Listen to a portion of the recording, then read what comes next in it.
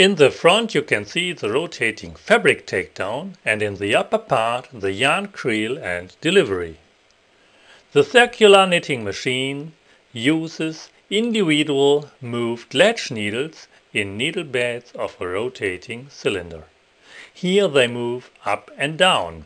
These up and down movements are produced by resting cylinder cams with their steel plates inside. These cams enclose the cylinder from outside. The yarn carrier, the sinkers and the cams of cylinder and dial are called feeds. The needles pass one after another through the feeds and form stitches. The courses of stitches are arranged in the fabric like the threads of a screw. Additional needles, so-called dial needles, can be applied in horizontal direction on a dial for the production of double-face fabrics. These needles moving on an orbit with the rotating dial and are moved by the resting dial cams radially. The rib machines, as shown in the representation, the cylinder and dial needles are arranged on gap. While rising, the dial and cylinder needles are crossing each other within the gaps. The rotating dial needles are recognizable above the rotating cylinder needles. The open yarn carrier gives a good view at the process of stitch formation. In particular, the sequence of movements of the knitting cylinder needles has to be watched.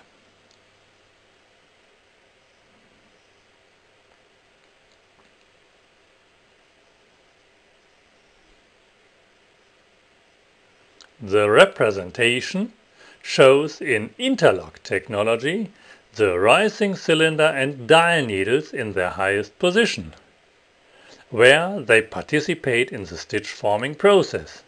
In interlock machines, dial and cylinder needles are confronting each other and only every second needle rises on the gap of the still standing confronting needle. A needle selection has to be carried out for interlock by long and short butt needles, so that two different needle movements are possible in each needle bed and feed. So only every second dial needle and every second cylinder needle rises on each gap, leaving the left needles in their position without knitting or floating.